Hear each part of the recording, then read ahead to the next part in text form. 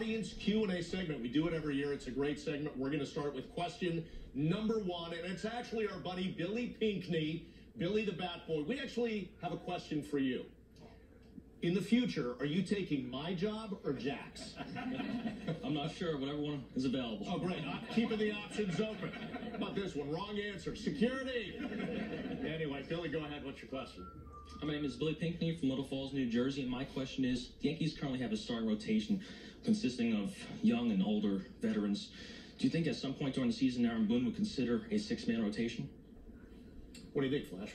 I think he'd consider it, but I think all things being equally, probably wants to keep everybody on their rotation. We know guys like CC Sabathia, they're going to need some extra time. So I think at some point there's going to be six men in a rotation. But Jack, I don't think it's going to be one of those things that Aaron Boone says, this is what we're going with for an extended period of time. It almost seems sometimes in baseball clubhouses as if using that phrase, six man rotation, is sacrilegious. But there were times last year where the Yankees did, as John just said, have six guys in the rotation. So to Billy's question, I think absolutely there will be opportunities. CC Sabathia is not going to throw 200 innings.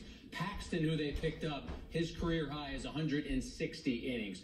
You look at who might be able to fill in. Is it somebody like Loaisiga?